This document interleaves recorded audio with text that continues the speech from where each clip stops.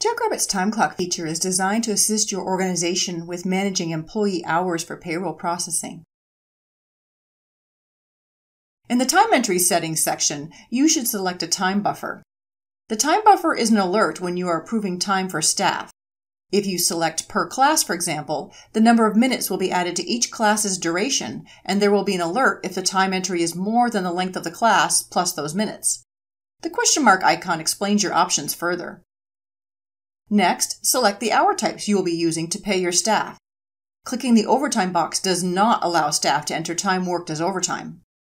Staff do need to enter time for holiday, etc., in order to have the time approved and be compensated.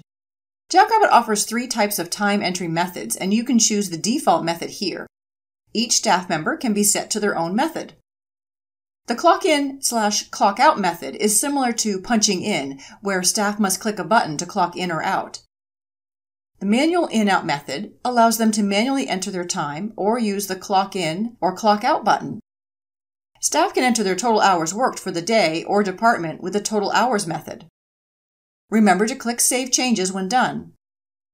Check out our video, Time Clock Step 2 Staff Settings, or refer to the Help Center to review the settings needed for staff to enter their time.